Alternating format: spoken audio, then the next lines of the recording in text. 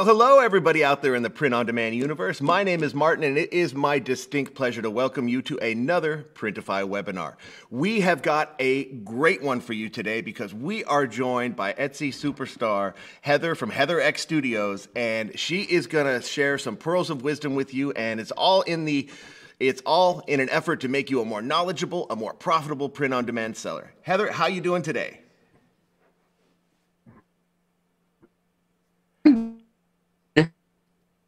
Wonderful. Starting off well. All right, Heather.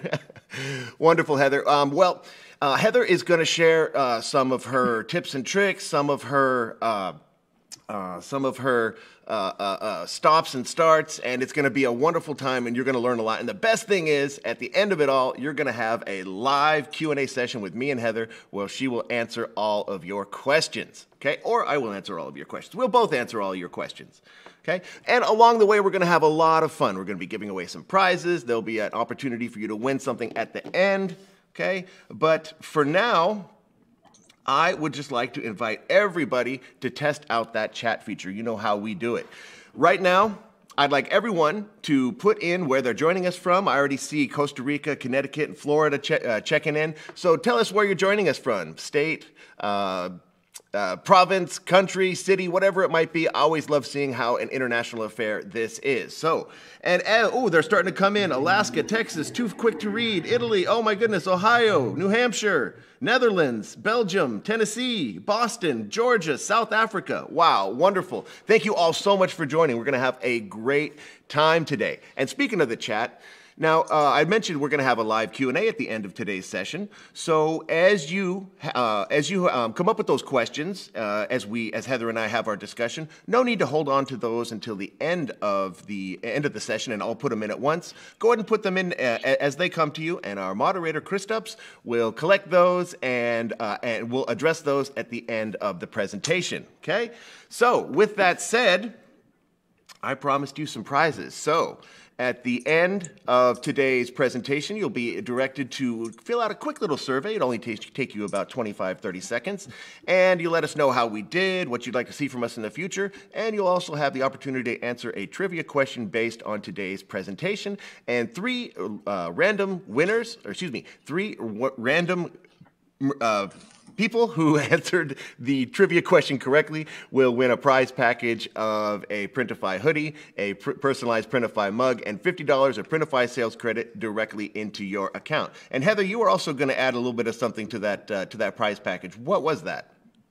Yes, I am adding in my niche playbook, which goes over the most profitable niches that I have personally sold in and what I recommend for new sellers to go into. Okay, wonderful, wonderful. So, uh, quite a robust prize package. Stick around to the end, you'll have a chance to win. And speaking of winning, uh, at two points in today's presentation, I'm going to ask all of you to get out your Printify accounts and navigate uh, clicking on that little green button in the upper right hand corner of your Printify account. And from the drop down menu, uh, select payments and then go down to where it says coupons because uh, two points, I'll be giving away a giving out a coupon code for you to put in. First person who puts it in correctly will instantly win $50 of Printify sales credit. Okay, now you won't see any bells and whistles saying, congratulations, you won. You'll either get the, uh, you'll either get the 50 bucks or it'll say this coupon doesn't exist because we only, only made one one of them. So if you are the winner, let us know in chat so we can all celebrate. And if you don't win, don't worry. There'll be two, there'll be two chances to win. Okay. All right. Well, now that all that's uh, uh, out of the way, I want to do one more thing and invite everybody watching, whether you're watching live or on repeat, to join me for a live Q and A session where you get to sit down with me. I do these uh, 100% free on Mondays and Wednesdays. Sit down. Uh, I love doing these. They're absolutely fun. They're they're super fun for me because I get to talk and interact with you one on one and play a small part in your success by making you a more knowledgeable and more profitable print on demand seller. And we ha- we're having a, a great time we're doing store audits. We're doing uh, keyword research tutorials, uh, uh, dispelling some myths, and talking about sales tips. So we're going to put that link into chat right now. Click on it. Reserve yourself a spot. Mondays or Wednesdays, 100% free. Sit down with me. I'd love to. I'd love to do whatever I can to make you uh, more profitable. Okay. All right. Well. Here we go, getting into Heather's story. This is what we're going to cover today. We're going to uh, hear all about how Heather got started, about her setting, uh, setting herself up for success, um, uh, how she found success with Printify, making those first sales, and uh, a little bit about those mistakes that she made along the way so you don't make those as well and about growing the business once you start uh, once you start making sales, how to scale up, that sort of thing. Okay, and then of course about how she likes to give back to the community. And uh, and it, chances are, if you're out there surfing the uh, print-on-demand space on YouTube and Instagram and all those other spots, you've come across Heather. Let's go ahead and put Heather's uh, uh, links into into the chat so you can follow her and uh, and and take advantage of all those pearls of wisdom that she shares online. Okay, and of course our live Q and A after that. All righty. Well, Heather, I promised everyone Heather's story. So let's get in the Wayback Machine. Heather, tell us your story. How did it all begin? Yeah, so it began in 2020. I was working at a hospital as an MRI technologist. And during that time, I just graduated from college. I this was my first job ever. I was working for about a year, year and a half at this hospital and once the pandemic happened, I my whole department imaging just got cut in hours. So uh, I was one of the people that was cut since I was one of the newer people in the hospital. So uh, I was so grateful I had a job, though. I want to preface that I was so grateful I had a job because I know a lot of people were laid off or lost their job entirely during this time. So when I was cut hours, though, I did purchase a house at the exact same time that I was cut. And we all cut our hours by half, most of the new people at the hospital, um, since they were trying to give hours and uh, fund, you know, nursing, which was completely understandable at that time.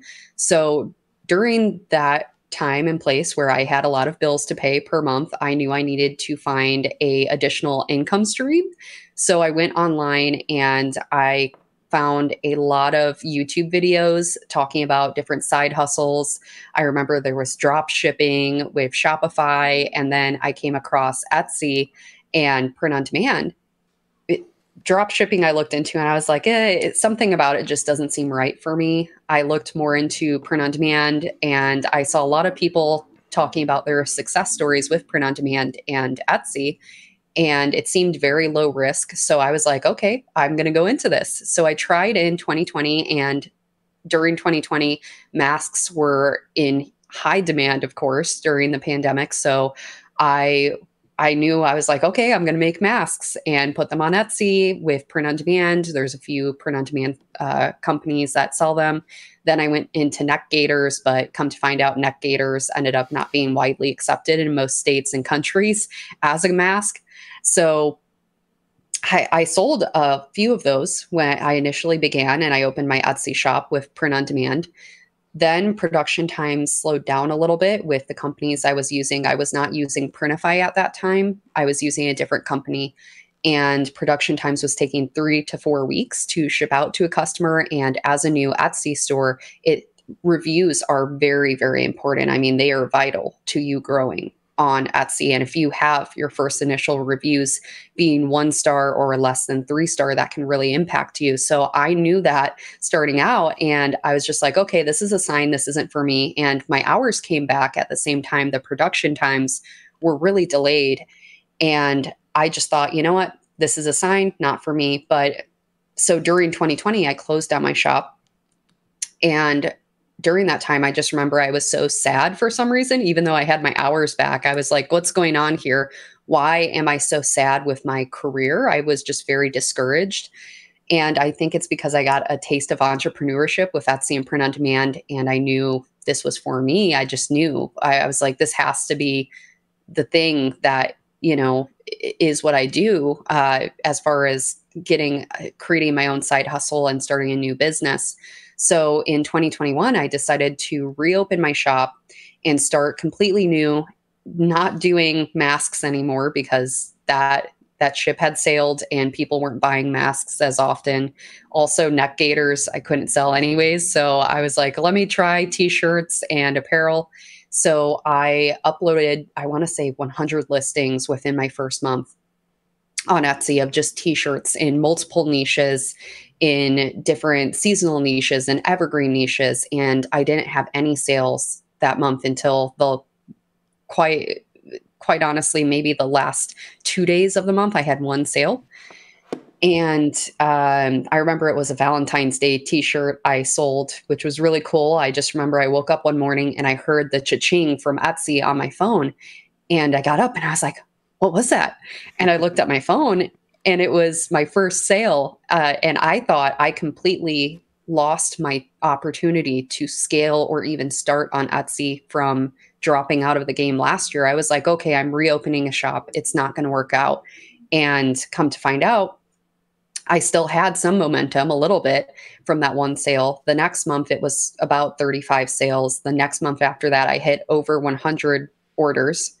And then by April, I was hitting over 500 orders uh, just from me continuously uploading listings onto my Etsy store in different niches and trying to diversify my niches. And by the end of that year, I earned 250K in revenue. Uh, last year, I earned over 180K in revenue. Right now, my shop's sitting at 450K, which is really, really awesome to say. And I ended up quitting my nine to five last year. So I stayed on part time at the hospital because I still. I didn't fully believe in this business being a full time thing until it kind of dawned on me. I was like, I'm making more than my job in healthcare what am i doing like why why am i still working in healthcare which i loved working in healthcare i i think i stayed on for so long even after i was doing so well just because i loved my job i genuinely have a passion for helping people and uh, i realized i could do that in a different way and that's how i found it through youtube is i'm able to give back in a different way which is just tutorials and free help online now so Wonderful. Well, congratulations on all your success. That's super awesome. And uh, able, being able to throw away the workaday world and become your own boss. That's a that that's a truly inspiring story that I think our audience is really going to be able to uh, uh, uh, learn from today. We're going to get into the uh, uh, all of the. Uh, nuts and bolts of how she was able to do that and and and uh, uh, and, and, fully explore her story as we go through today's presentation. But an absolutely wonderful and, and inspiring story. But so you mentioned uh, uh, getting yourself ready and sort of uh, um, finding your way to Printify, and I, I want to touch. I want to touch on exactly how you made that journey to Printify and, and why you, and why you've stuck there a little bit a little bit later. But let's talk about. Let's stay in that wayback machine to 2021 and there's a lot of people in our audience right now that are in those same shoes. They are just starting out. So if you can uh, maybe Tell us about laying that foundation by taking advantage of the wealth of information that's out there on YouTube, which you've already mentioned, and and in other spaces.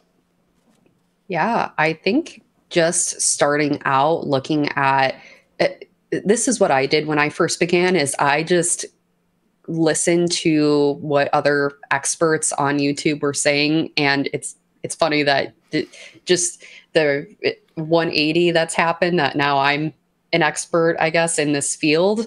But when I first started, I remember people were like, oh, upload a lot of listings. And, you know, they were like hundreds of listings, try different products, try different niches. And I kept hearing that. And I, I was like, it can't be that simple, right? I, I was like, there's no way. And then I did it. I was like, you know what? I'm just going to upload, I'm going to do what they say, upload hundreds of listings. So that's what I did. I, I uploaded 300, 400 listings within my first few months with Etsy. And it is a lot of repetition. It's kind of like working a muscle, you know, trying to grow some more biceps or something, you know. So that's what I did. And I put in those reps. I put in that daily grind and daily work in uploading listings. And generally, I just really uh, listened and watched those YouTube videos. I followed tutorials. I studied top Etsy shops. I think that's what's really important when you first start out is finding high demand, uh, high search volume areas to go into on Etsy, the niches that are higher in demand, the products that are higher in demand, and seeing what designs are trending too. I think just studying, you know, what's top of search on Etsy is one of the easiest ways to start. And then watching all the YouTube, you know, videos and things on the internet that's provided now. That's really awesome. Um, So. Yeah, that's and I, I, that's something I really want to get across to our audience here is how much you need to be a student of this game. Now, print on demand. I mean, if you look at it, it, it is rather simple. It's you know you upload a design, you publish a product, you collect uh, sales. Okay, but in that process, there's a lot of little stuff in between, before and after, uh, b- before and after those those those steps that you really need to take in. And there is so much information out there. You could live ten lifetimes and not consume it all. You can get it right down to your to the specific products that you're offering, your sales channel, your niche. There's so and it's and it's all completely free. It's uh, it's it's out there. A simple Google search will get you started. But you mentioned it uh, earlier, niche. I mentioned it just now. How does one choose a niche? This is a question I get a lot of p- people that are just starting out. What would you say? I think choosing your niche should start with maybe doing your field research on not only yourself, but your coworkers, your friends, your family. What gifts would you buy your friend? Just think of one friend right now and think, what do they like? And of course, I think the number one thing that comes up is maybe something that's pop culture related. Uh, I will say for anyone watching who's new to Etsy, be aware of trademarks and copyrights and all the legal things that come with that as well. I know some people kind of go on the border of copyright infringement with, you know, like I think about my brother, for example, he loves Star Wars themed items, but I could not make something on Etsy that's Star Wars related. But I know he is a huge dog lover, you know, and um, that's something I would create for my brother. So think of those things that you would create necessarily for yourself, your loved ones, your friends, and then you can go from there and kind of branch out of those niches. Because if we're talking dog niche now, then what other types of niches are related or subcategories of those niches? So for me, I think, you know, I'd go into brainstorm mode corgis, Yorkies, uh, doodles. You know, there's so many other niches out there underneath that umbrella of the dog niche. And I think that's what's really important when you're doing your research is going a little bit deeper so that you can target those specific audiences and get those high sale volumes maybe per week just from being very specific. Okay, and one other bit of advice that I give to people as they're starting out looking for that niche is to make yourself your own target customer. As you're learning the business, it uh, it, it, would it would behoove you to. Um, again, make yourself that target customer so that you already know the online spaces in which people that are into the same stuff you are are, are, are populating. You already know what's what's sort of trending in those areas. You you would be have access to that information. So as you're learning the, as you're learning the game think about yourself as the, as the target as, as a target customer and you're already one step ahead of the game. Then as you learn more you branch out and it, everything becomes much more everything just starts to make more sense after a while. So that, that's absolutely wonderful advice. Thank you heather. Um, so great. So i'm doing my research. I'm learning the game. I've, I've decided on a niche. Uh, another one of the questions i get all the time is what the heck do i sell? So if if I'm just starting out and I want to know what to sell, what would you tell me? I would tell you the first place I always start is, of course, just at Etsy search. So I just look up like, like we were saying, you chose that niche of the dog niche. Let's say I would put uh, maybe gift or dog.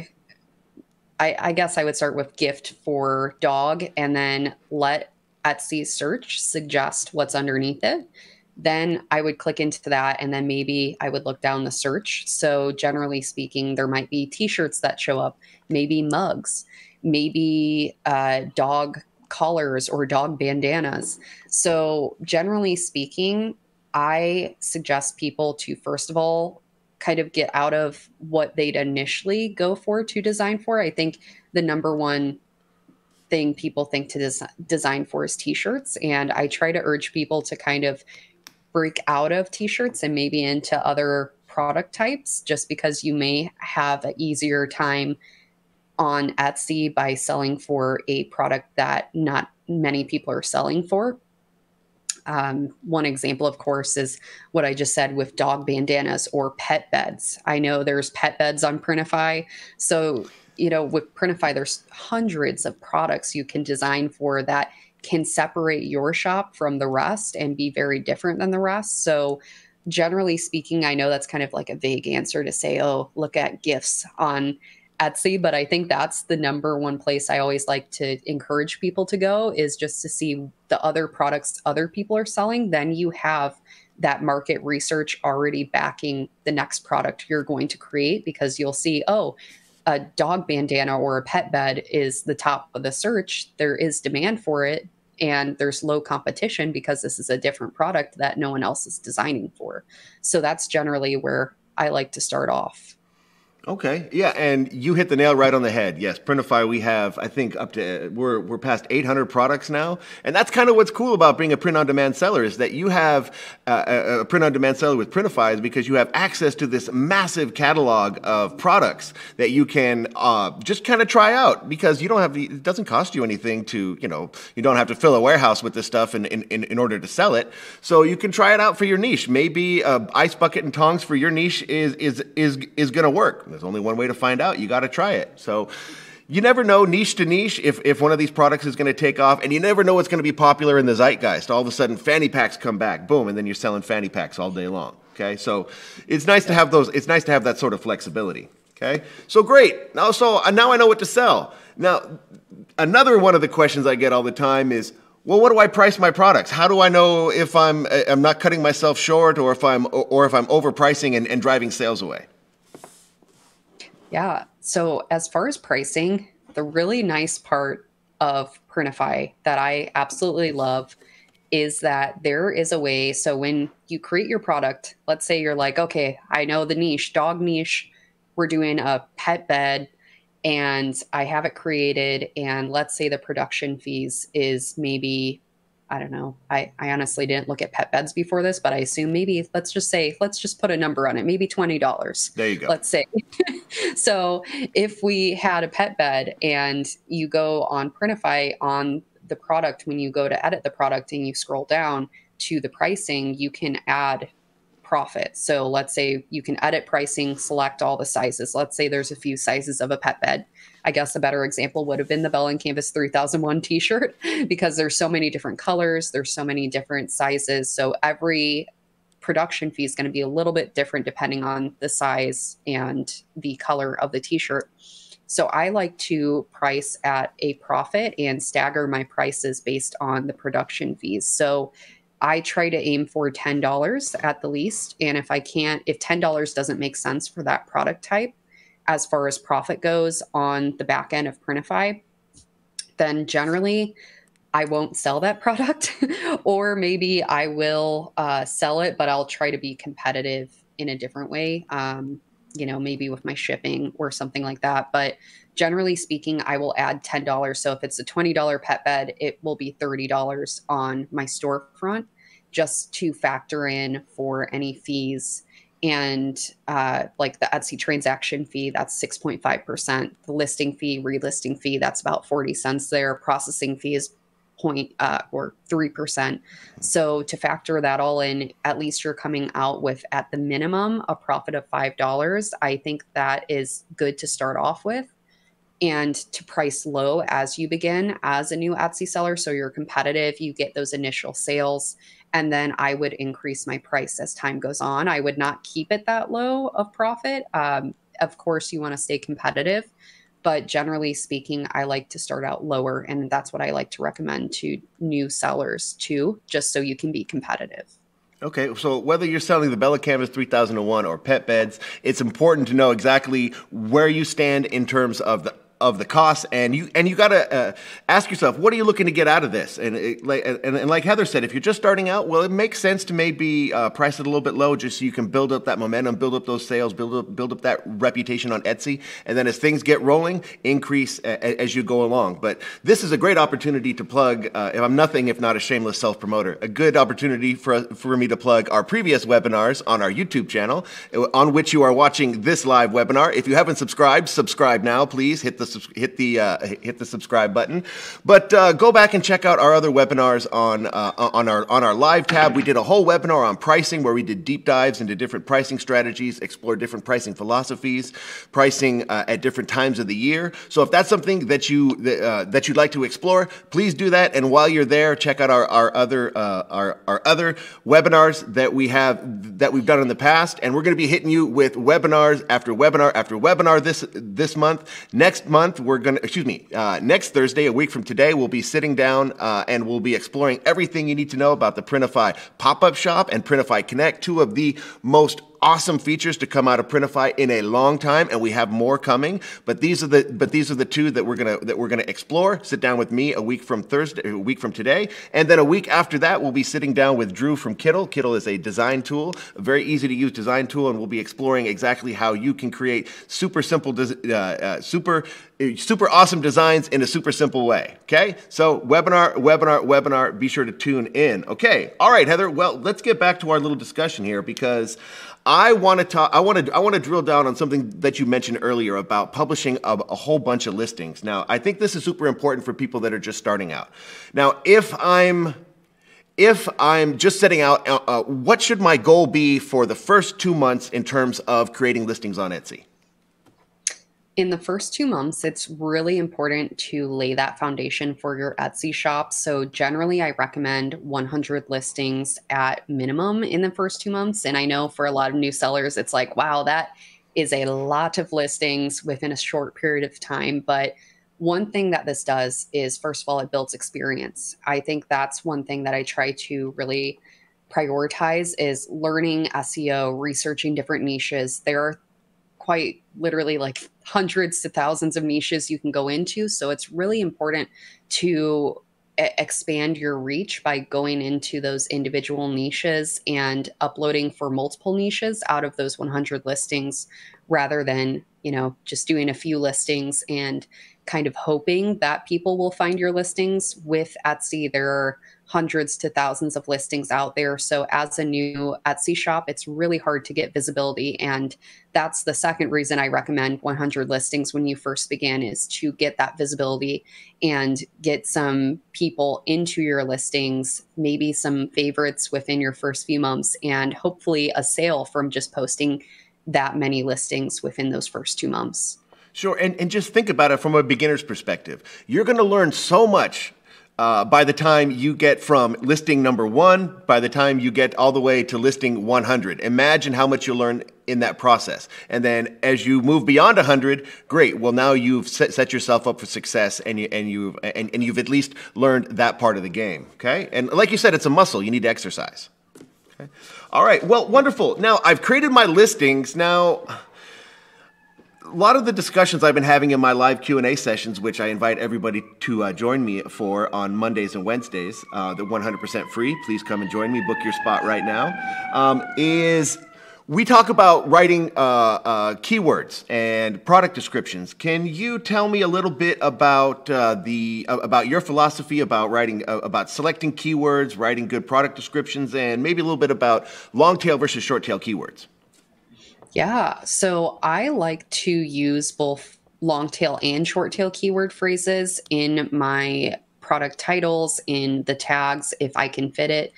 For me personally, I like to go very narrow with my keywords. So instead of an example of more of a broad area would be dog mom gift. And to me, that's a little bit broad. There's a lot of competition within those keywords. So instead of something like that, I would narrow it down to those subcategories and sub niches of the dog parent niche, maybe corgi mom gift or corgi mom t-shirt for her something like that that is a long tail keyword phrase so generally speaking i don't use as many short tail keyword phrases i usually save those for my tags if i have anything left as far as character count goes and just amount of tags in my listing. So, generally speaking, a short tail keyword example is two words or less. So, if you put dog or mom gift or uh,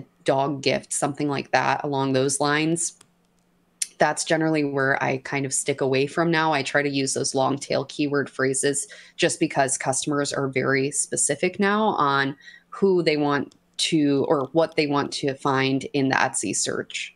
Okay, and it's and, it's important to uh, mention that um, these long tail and short tail keywords, as you build, as you add more more words to your to your uh, uh, uh, keywords uh, past uh, past three words, that becomes a long tail keyword. You can do this kind of investigation and research using a keyword research tool. There's a million of them out there, like eRank, that offer a free version or at least a, a, free trial version. You can try them out and see which one works best for you. Um, but as you're doing that research, you'll be able to use some tools like that to sort of really narrow down down your focus and build a really good listing. Okay, and and and we do a lot of that in in our in the live Q and A sessions that that that that I am I am lucky enough to host. So please join me for those. Okay, but great. So um, I've done all that, but I want to touch back on what you something you mentioned a little bit earlier about how you were using different print-on-demand solutions, and then you found your way to Printify. I want to know exactly how you found your way to Printify and why you've stuck with us ever since. Yeah. So I the other company I was using, I will I will not name for just life purposes. But uh, the other company I was using, I had just a few issues. First of all, it was the production. Second of all, the production fees and the costs. Third of all was the customer service. I just had a lot of problems with the other company I was using, and I started picking up in order volumes where I was getting hundreds of orders per month that I was realizing I was losing thousands of dollars just because the production fees were higher with the other print on demand company. So I was just like, you know what? I have to, I'm going to move over to Printify. I'm just going to move all of my designs over. So I eventually did that. And I was able to do the Printify Premium, which was really beneficial. I mean, it knocked off a few dollars off the production fees. And over time, that was thousands of dollars I was getting back for my business that I could reinvest into my business, add new listings with and then also just keep his profit. That was really nice and a huge plus of that. So that's kind of how I went over to Printify. I was a little bit eh, you know hesitant to move over because I was like, "Oh man, I have hundreds of listings already on with this other company." And I'm really happy that I eventually switched over because again, a lot a lot of profit was kept by making that move. So Good. And that's one of the pro- promises we make to merchants like you and to everyone out there listening is that we want to be able to uh, make you as profitable as possible because if you can't make any money, then this whole thing falls apart. So that's that's one of the pillars on which uh, on which Printify is, is built. And um, you mentioned something about transferring over those over those products. Well, for any of you out there listening that have an existing business with uh, an, a, a, competing uh, print-on-demand uh, company that we will not name, uh, that we actually we actually have a product transfer service that we can that we can uh, direct you to, and we're going to go ahead and pop that into the chat. But just know we'll do all the heavy lifting and recreate those listings for you. It's part of it's again part of our, our commitment to your success. And like Heather said, people come over to us because of the pricing and they stay because of the service, because we offer, um, because we offer things like the product transfer and the Printify Premium where you get the instant 20% discount on every single product and access to webinars like this and cool videos on our YouTube channel. Subscribe. And also, um, I want to, I just want to do a quick plug for our podcast series that is launching today where you can, where you can uh, sit, where uh, successful print on demand merchants sit down with Printify's very own Talish, and you can, uh, it's called Printing with Profits. You can get those, uh, you can, uh, it's available on Spotify, on Apple Podcasts, and on Google. And then it, soon it will exist on our YouTube channel in video format. Um, and when you check those out, be sure to subscribe. But Printing Profits with Talish. Heather, I believe you made an appearance, and we're all, and we're all going to be, and we're all looking forward uh, to the day when that goes live as well. Okay? All right. Well, let's talk a little bit about making that first sale. Great. I've got my listings, I know my products, I've selected my niche. How do I make that first sale? How do I get over that first little hump and hear that cha-ching in, on my phone? Yeah. So there's a few ways that I recommend generally getting that first sale. One way is social media. I know that is a scary answer in itself for a lot of people because generally speaking when you start your own business it's like oh i don't want to tell my friends or people from high school I have on Facebook that I have this business and I'm trying it out, or even creating a new social media or something like that to get people into your listings and purchasing. That is what's really important when you first begin is that initial sale. So sometimes using social media can really boost it or, or boost your likelihood of getting that first sale. The other way is just waiting organically, uploading, keeping uploading listings over time and waiting until you get that first organic sale. Sometimes it takes a while with that route. So I don't generally recommend that. I recommend doing social media of some sort, maybe Instagram, maybe Facebook. You can always open up a business Instagram, which allows you to have a link uh, on your bio. I know certain platforms you're not allowed to have a link in the bio. I think TikTok you have to have around 1,000 followers, something like that, in order to have that link. So Instagram's where I recommend. So when people find you on Instagram, they can click into that business link, go to your Etsy shop, and that is a huge boost in the Etsy algorithm.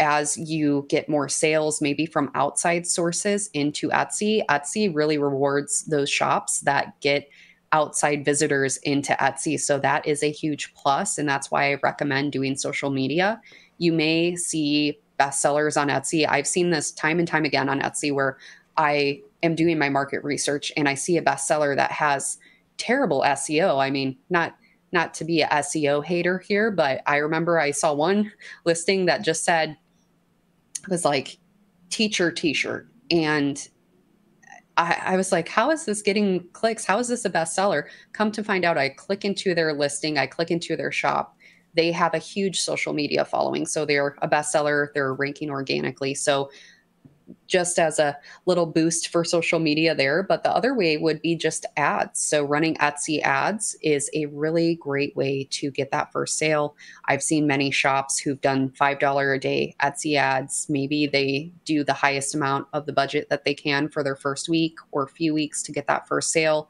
Generally speaking, if you run the Etsy ads and you try it out, they don't always spend all of your budget. Sometimes it's only uh, half of the budget or one fifth of the budget. I've seen, at least in my own shop, um, from experience. So having those Etsy ads running, again, getting that visibility, it usually, if we're talking conversion rates, average e commerce conversion rates are 2% across e commerce. So you need 100 visitors usually, or I guess 50 visitors to even get one sale if that's the average e-commerce conversion rate.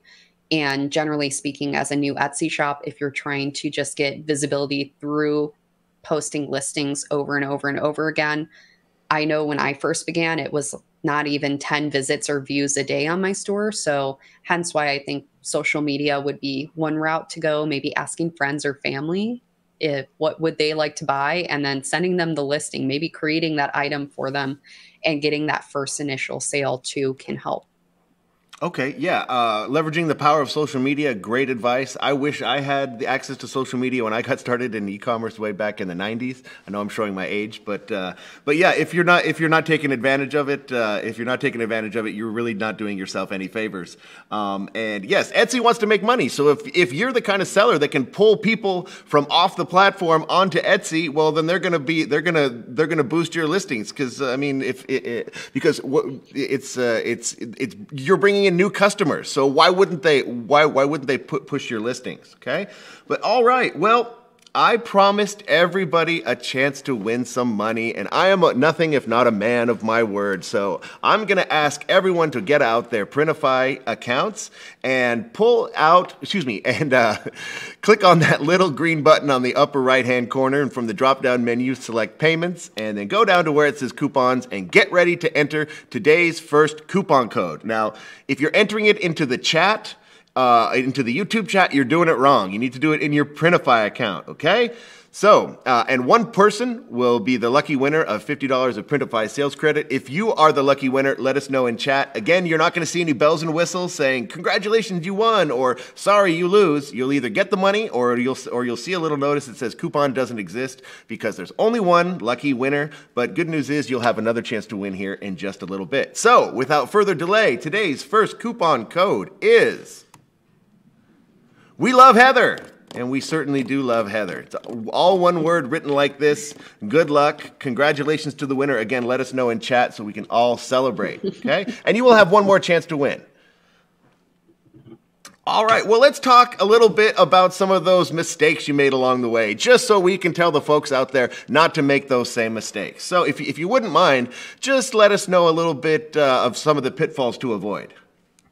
Yeah, so my, I have two. So, one pitfall to avoid is first of all, posting your Printify or pushing your products from the Printify backend to your Etsy storefront and just leaving your listing there without filling in SEO tags, uh, your title, description, and your mockup photos, maybe your mockup photo cards that have a size chart, color chart. Generally speaking, if you upload a listing and maybe you're like, you know what, I'm going to go back to it in a few days. I I can't complete it today when I began, I did that quite often where I would upload listing upon listing and I'd just give it a week. And then I'd go back to the listing, I'd edit the SEO, make it a final package deal for any customer that would potentially find it. Over time, I realized that those listings were not taking off as fast as the listings that I did all in one sitting. And one of the reasons why is because Etsy's algorithm starts ranking your listings immediately once you publish them from the Printify backend. So if you publish an item and it's just a listing without SEO, without your tags filled out, and there's not many images maybe on the lim- listing or size chart, color chart, what have you, then the listing tends to not rank because people aren't clicking on it, they're going past it, and then you just end up in the last page of the search. So it's really important to have that full package deal when you first start out. The second big mistake that I made when I began is I designed quite a bit. And I remember I would take my phone and I would put so many ideas and phrases in my notes app of my phone. And then I'd create a bunch of designs, but I wouldn't put them on Printify. I wouldn't publish them. I wouldn't, they would just be in my drafts. So this was my biggest, one of my biggest mistakes because since it laid in drafts, when I finally published some of the listings that I thought wouldn't sell, those ended up being my best sellers or the ones that just sold consistently and organically, which was really surprising to see. So if you have anything in your drafts for those that are watching, definitely try to post those, even if you think they're hideous or bad designs. I thought that with my first bestseller. My first bestseller design was in my drafts. And I finally posted it and published it to my storefront.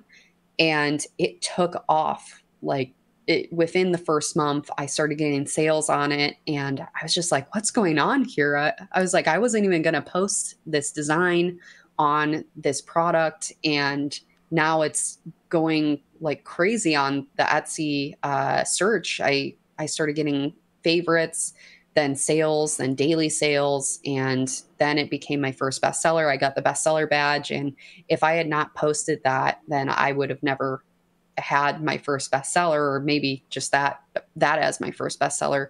But uh, just uh, learn from my mistakes and try to post the things that you may feel may not rank on Etsy because you will be surprised what sells as far as your designs and your products go. Sure. Have confidence in yourself. Have confidence in your customer out there. You never know what's what's going to catch fire. And in the process of making those hundred listings, put put them out there. You just never know what's what's going to catch fire. And you heard it from from Heather here. And that's why I love these conversations so much. So we get to sit down with successful merchants. We get to hear about all the stuff they did right, some of the stuff they did wrong, and so that you can learn from it and make yourself uh, and so that you can get yourself from A to B a lot quicker without taking all those all those missed turns in the middle. So that's absolutely wonderful. Thank you for sharing. Um, great. So I've made some sales. Uh, things are going good. Um, uh, after after I get that first taste of success, now how do I take it to the next level? What did you do? So I scaled out what was selling. So maybe if that first sale did really well, then I would look at that item and look at the design. Maybe it's that specific design just really works with this one niche. So I would scale it out to those sub niches, so or related niche categories. So let's say it was again going back to the dog niche. I love giving that as example just because there's so many different types of dogs and so many different types of dog parents. You know, there's dog moms, dog dads, uh, dog grandmas. Maybe I don't know. You, you never know with all the niches that surround that one niche. But then you can go into the corgi dad niche, corgi mom niche. Those are separate niches you can make a design for on a t-shirt. So that's generally where I would suggest going next is what is working is what you should capitalize on and really scale out from that one first sale because that's a really great indicator that that design really works. So I would take that design, make it into more of a template, so to speak, where you just plug and play phrases into that one design that sold. And you know that product sells with that design too now. So I would take that product, do the same thing, and then maybe scale it out to different products. A lot of the times, certain design styles can be scaled out to so many different products. So if uh, t-shirts for example usually designs you do for t-shirts you can put on a mug you can put on a tumbler you can put on um, you know like a sweatshirt a hoodie. There's just so many other places that you can take that one design. And a lot of people surprisingly uh, i've had many messages on etsy of people asking me to take one design to other products and i never thought to go into those products. I was like oh a long sleeve shirt I, you know, one of my best sellers was a t-shirt and people were asking for it in long sleeve version or a hoodie or a, a Gildan 18,000 crew neck sweatshirt. And I was like, why have I never thought about this? And then I eventually started doing that. And that's what scaled my business further.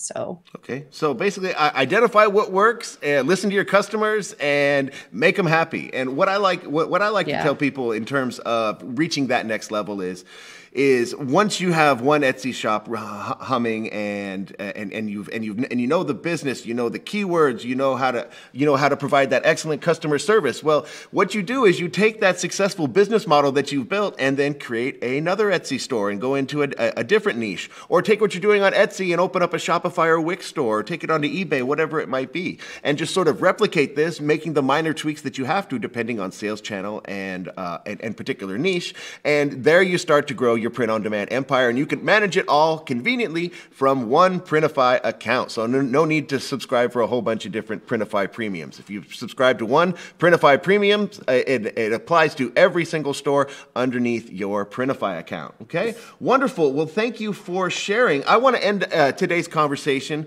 um, with uh, a little bit. Uh, uh touching back on what you mentioned earlier about being part of this community, how you went from uh, uh, uh, seeking the advice of experts to being an expert yourself. Why do you feel it's so important to uh, to be a, a, voice in this community?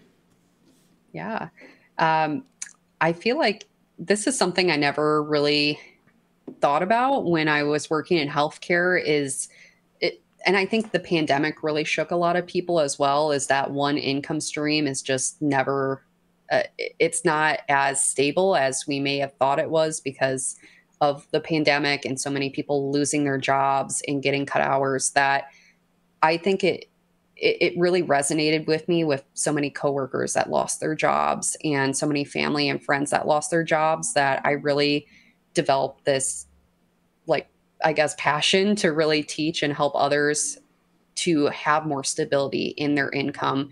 And that could be through a side hustle, maybe a side income, or maybe like me, where that side hustle turned into a main income stream. I didn't, I never thought that was possible. So, um, that's generally why I make all these YouTube videos and all these TikToks and Instagram because I want other people to have that stability in their life by having that additional income stream.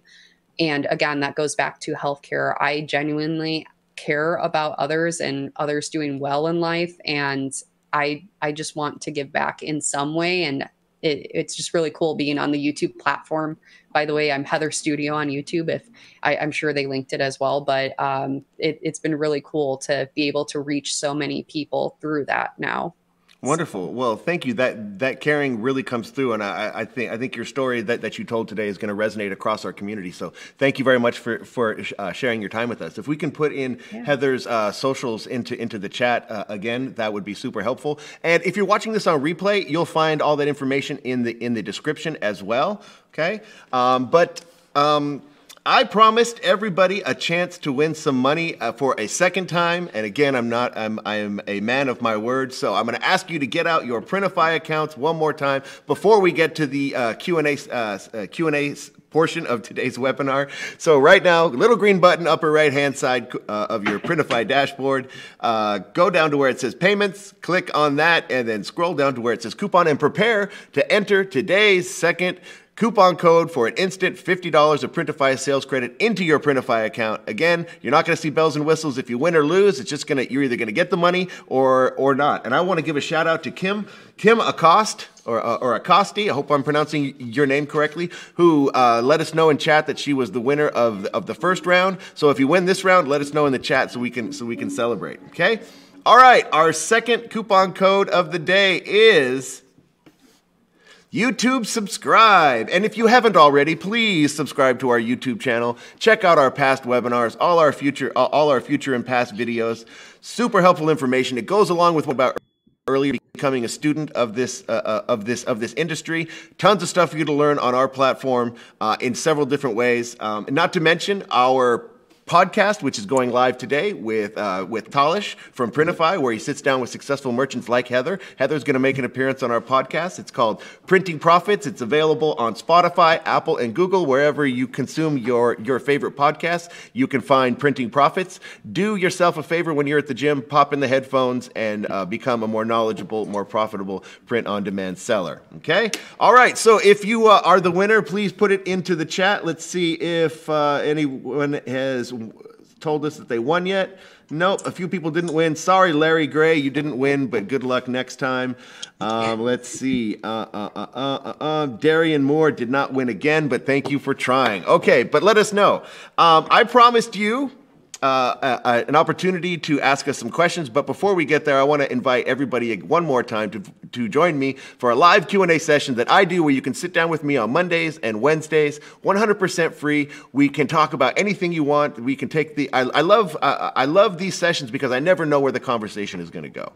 One time we spent uh, almost 40 minutes just talking about mugs and the theory on selling mugs and the different mugs that we have and what sells and, and, and, in, and in what quantity, the packaging and stuff like that. So we do deep deep dives on different subjects. We do store audits. People send me their links. We go through their store live during the chat, tell them what's working, what you need to fix. We do some keyword research using my eRank account. So we have a lot of fun. Whatever it is you want to talk about, or if you just want to sit with your with your headphones in while you work and, and pretend like you're working, we promise we won't tell on you.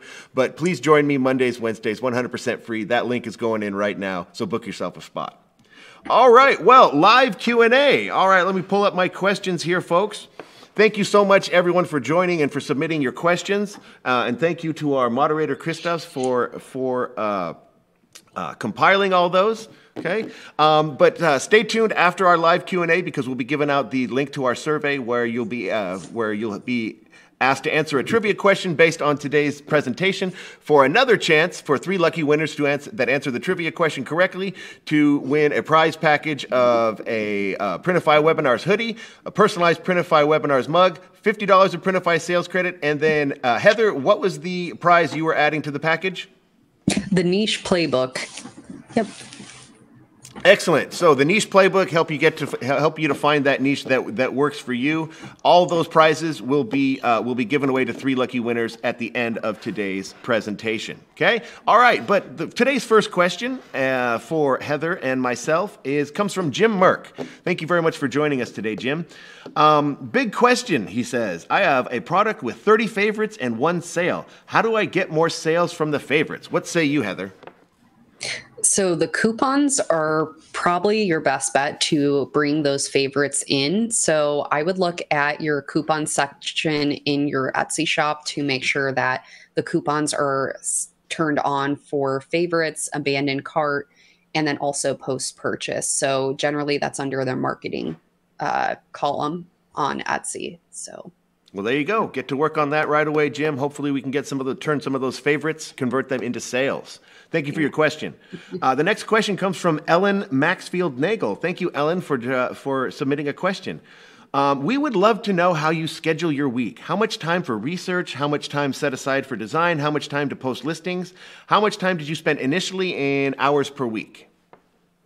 Generally speaking, I spend, I would say, three three to 10 hours a week on my Etsy business. Honestly, it's been a little bit less the past year just due to, I mean, Printify takes care of a lot of the work for you. Your job, once you have your store built up, it generally is a lot less time commitment, at least for me. And so I guess there's a two part answer to this question. So when I first started, it was not like that by any means. I don't want to lead anyone astray because when I first began, it was closer to 10 to 20 hours because I was researching, I was listing, I was really learning. Again, I was watching YouTube videos, I was watching um, or, or studying other shops, I was doing my research in niches and products and how to price, how to compete on Etsy, how to market even better than I already was. And that's how I really scaled up my business. But that took about 10, 20 hours a week, sometimes up to 30 hours a week when I began.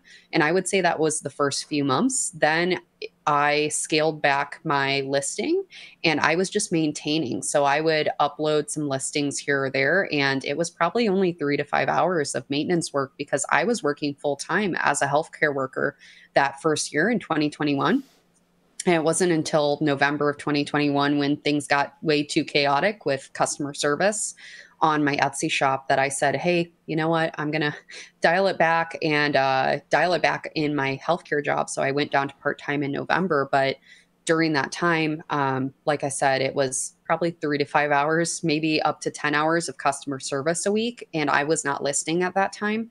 Now, the past year, last year, every week I was spending maybe three to five hours total per week. So, and really it's just, you know, doing customer service mainly, answering messages, fixing order issues when they come through. But it's really nice because Printify makes it so quick. Like I just send out a uh, customer service request in under a minute. And uh, speaking about the company I've dealt with prior, I would spend hours just trying to. I mean, I remember that maybe that's me being a little bit over dramatic, but in total, like it took 30 minutes to an hour just to get a response from this other company and get my issue taken care of. And I was a high volume Etsy seller. I was, it, it's kind of tough when you have a lot of problems. So, anyways, that's just me and my little, little box for a moment, but that's how many hours it takes now is about three to five hours a week it's very low maintenance. Well, there you go, Ellen. There's the answer to your question. In the, in the beginning, yeah, you're going to have to put in some hours, but the uh, reward is there. Once you get everything up and running and humming,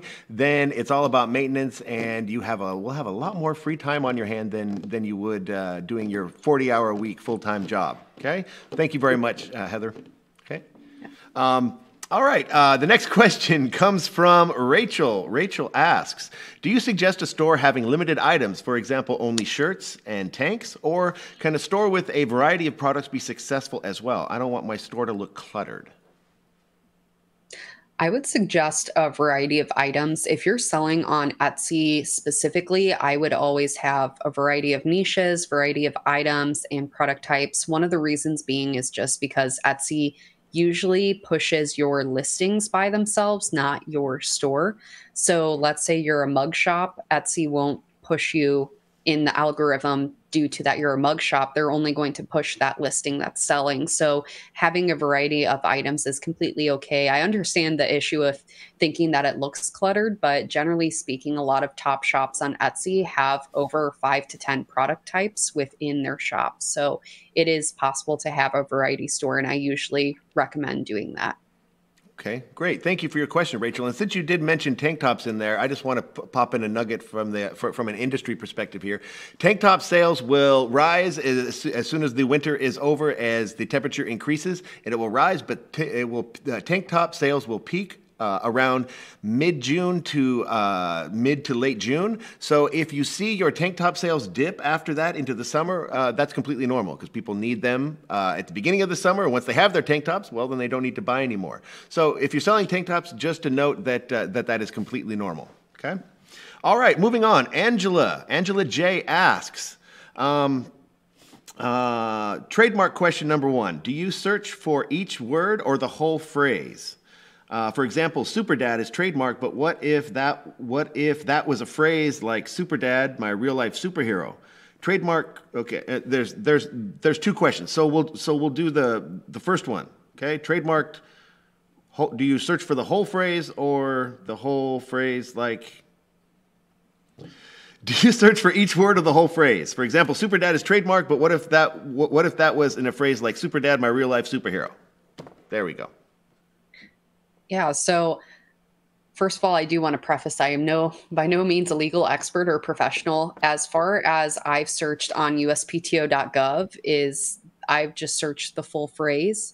So generally speaking, if a phrase is trademarked, I won't I won't go anywhere close to a phrase that's trademarked. But that's just me personally. I uh, usually three strikes with Etsy as far as copyright, you're out.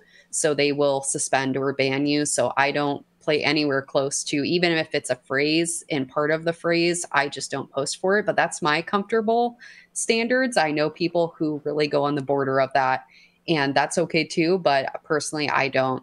I don't try to go near copyrighted things. Good, and I'm I'm going to second that notion there, Heather, because um, when it comes to copyrights, especially on Etsy, you want to play it super safe. If for whatever reason they shut you down, that's it. Okay, Co- using copyright designs is a short-term strategy for success. It has no long-term potential, and uh, also not only uh, copyrighted uh, uh, images, but also stealing your competition's designs. That also that also never works out well. You're much better off coming up with with your own designs and staying away from copyrights altogether. Okay, all right, let's move on. Aaron's question. Aaron Collette had a question. Uh, one of your questions is is that I'm worried about the cost of the items and including shipping. So can I offer free shipping and uh, and how it further increases the cost? What is the revenue bracket to shoot for? So free shipping.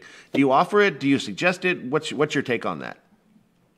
So I always say that I have maybe a polarizing view on shipping, but to me, I think that the shipping does not necessarily matter. And this is my theory because I, so I have my shop that has no free shipping, and I have a friend's shop who does pretty much close to the same revenue as me. And they have free shipping, and we both get the same daily orders, and we're both in very similar product types. So that's something to think about that I I I think it comes down to your product, your design, your niche. I will say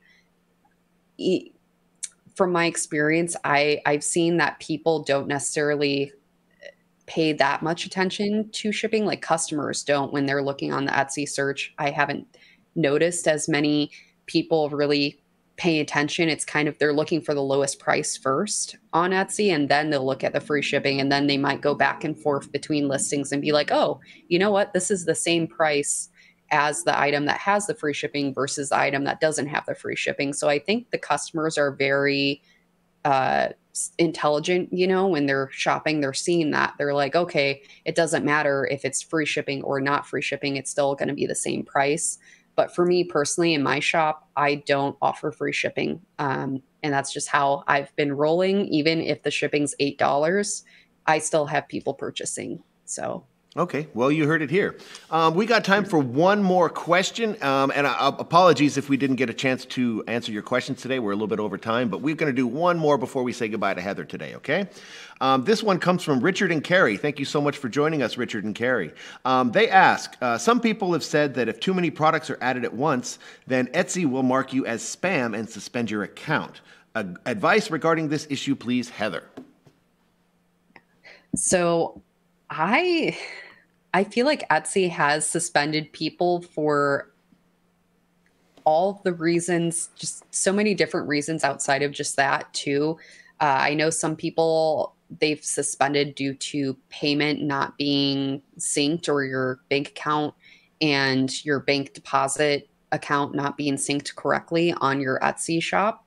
So sometimes it could be that, or maybe it might just be, again, you're tripping that wire for uploading high volumes of listings, but it's not confirmed. I've I've kind of went back and forth on this. I've heard that if you have a shop that's been open for a really long time and you upload high volumes of listings, I've heard people who have had their shop open for a while usually don't get suspended. It's when you open up your shop, then you upload a lot. Sometimes that trips the Etsy algorithm wire. But again, this isn't confirmed or denied from the actual, you know, company of Etsy. So I would love to hear kind of what they say on that as well. But that's just what I suspect is if you've had an Etsy shop open, generally speaking, you're more safer off. But still, after you kind of hit that trip the Etsy algorithm wire, so to speak, what I've noticed is once they unsuspend your shop, you don't have a problem going forward. I had my shop suspended uh, for that reason, and they just said, "Oh, sorry, it was a it was a bug and then i never got suspended ever again after that so i would i would just say there there is the bright side of that that if you are suspended usually it takes two weeks to three weeks until you're unsuspended but after that you shouldn't be suspended again but again i don't work for etsy i wish I, I sometimes wish i did just to like know the the back end. So, right on. Okay. Well, thank you yeah. very much for that, Heather. Um, wow. And thank you everyone for joining and for submitting questions, and to the winners that uh, of the of the coupon code challenge. That was super awesome. Congratulations, uh, Heather. This was great. Um, I think everybody that tuned in, uh, either live or is watching our replay, really got a masterclass in just about an hour. So, thank you so much for sharing your time with us. If you liked what you saw from Heather, well, you can follow her on her socials. We'll have those in. We will have those into the chat, and they'll also be in the description, so you can continue your journey with Heather from Heather X Studios. Um, but uh, and also you can uh, join us here for more webinars next week. We'll be uh, a week from today. We'll be sitting down and discussing everything about the Printify pop-up store. If you haven't heard about it yet, it's a super awesome store that's 100% free that we give you here at Printify just by being a Printify merchant. And I'll, t- I'll tell I'll tell you all about how to use it and answer all your questions. And we'll also talk about Printify Connect, where we'll take over. Uh, we'll take over as your as your customer service uh, customer service provider, and again take one uh, one part of that uh, uh, time consuming uh, time consuming aspect out of your out of your day. So join me next week for that, and then the week after we'll be sitting down with Drew from Kittl. Kittl is a uh, design tool, super super easy to use, so you can create super cool designs, upload, make your 100 100 listings, and get yourself going on Etsy, just like Heather said. Okay, wonderful. All right, well we're gonna say goodbye, but I believe we've already put into the chat the link to our survey. Click on that, answer today's trivia question. We win, uh, win the prizes, where uh, three lucky people who answer today's trivia trivia question correctly will be selected to win the prizes. I'll reach out to you myself. Join me for my live Q&A sessions. Follow Heather on, on social media. Thank you so much for joining us, and I'll see you next week. Bye, everyone. Bye, guys.